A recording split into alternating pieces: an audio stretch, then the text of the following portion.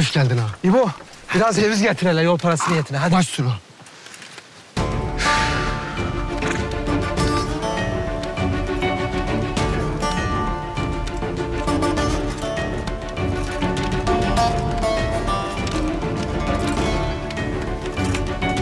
İşte böyle büyük hanım.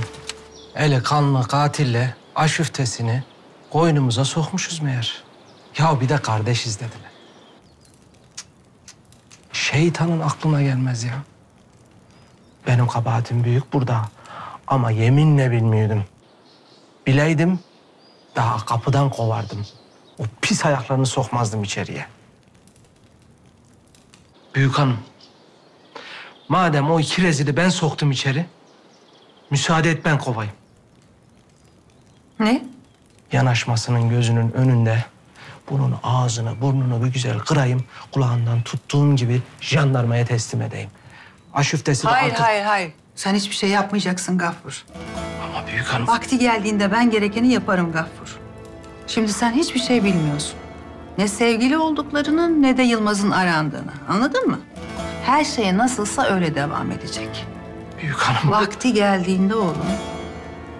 Vakti geldiğinde Büyük hanım şimdi bu...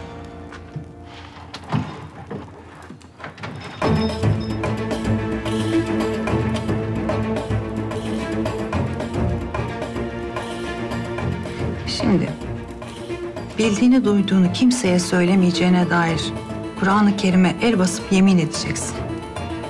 Bak sen beni biliyorsun. Bana ne kadar sadık olursan mükafatın da o kadar büyük olur.